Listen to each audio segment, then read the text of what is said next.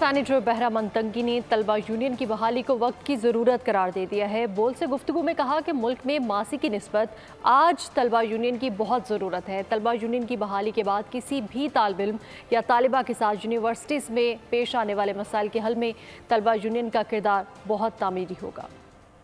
देखिए 1984 में जब डिक्टेटर जियाउल हक ने मार्शल्ला लगाया 1977 में तो 1984 में डिक्टेटर जियाउल हक ने मार्शल्ला में स्टूडेंट यूनियन पे पाबंदी लगा दी। और उसी दिन से लेके आज तक आप जो सुन रहे हैं, आप जो देख रहे हैं कि यूनिवर्सिटीज़ में क्या हो रहा है। स्टूडेंट के साथ, हमारे बच्चों के साथ, हमारे बच्चियों के साथ, तलबा के साथ तो वो इसी वजह से कि वहाँ पे इलेक्टेड बॉडी नहीं है। अगर वहाँ पे इलेक्टेड बॉडी होती, यानी स्टूडेंट यूनियन तो वहाँ से के नुमाइंदे लेजान का एक पुल का किरदार अदा करते हैं और वहाँ पे मैनेजमेंट के साथ प्रोफेसर के साथ बैठकर वो मसाइल हल करते हैं। मैं समझता हूँ कि 1984 से लेके आज तक ये पहला मौका था जो मैंने इस बिल को पास करने के लिए मैंने बिल जमा किया और फिर सेनेट से मुतफ़ा तौर पर यूनानी मसली पास हुआ,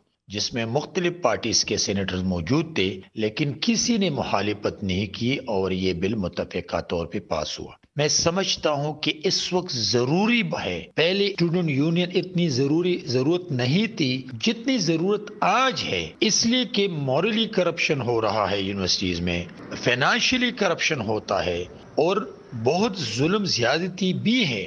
इसलिए कि हर महकमे में, हर सेक्टर में अच्छे बुरे होते हैं। लेकिन स्टूडेंट यूनियन की बहाली के बाद इनशाला जहाँ पर भी किसी बच्ची के साथ, बच्चे के साथ, यूनिवर्सिटीज में कुछ वाकयात आते हैं तो इनशाला स्टूडेंट यूनियन का जो रोल होगा, वो बहुत कंस्ट्रक्टिव होगा।